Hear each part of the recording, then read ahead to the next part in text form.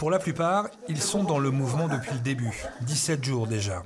Ce matin, les Gilets jaunes ont envahi pacifiquement le hall du conseil départemental de la Haute-Saône pour essayer de rencontrer le président du département.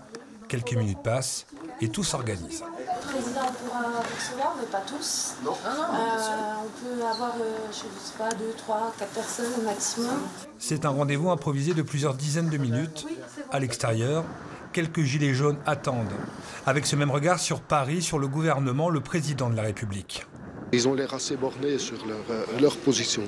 Ils sont butés et puis c'est terminé. On va pas. Sans ça, ils auraient déjà fait des gestes il y a une paire de, de semaines. On lâchera pas parce que parce qu'on va tenir jusqu'au bout et que on espère quand même qu'à la fin euh, ça nous donnera quelque chose. Mais c'est pas euh, avec ce qu'ils font aujourd'hui que ça bouge. Ils nous prennent pour des idiots.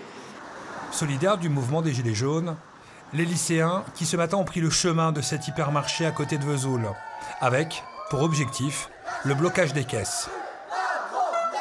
Oui, que ce soit les lycéens ou les gilets jaunes, ils étaient euh, très mobiles aujourd'hui sur Vesoul, comme ici en début d'après-midi où les gilets jaunes ont bloqué un train en gare de Vesoul. C'est un train qui devait aller normalement en direction de Paris. Le train aura été bloqué plus de 30 minutes.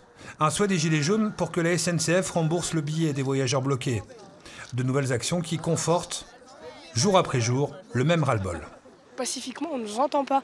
Et c'est ce que j'expliquais ce matin. Je dis les gens qui étaient à la base pacifiques vont à un moment donné euh, péter les plombs, parce que on- de toute façon, euh, là, on a.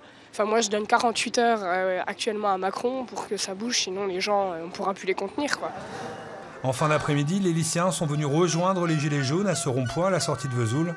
Une convergence applaudie avant de nouvelles actions dans les prochains jours.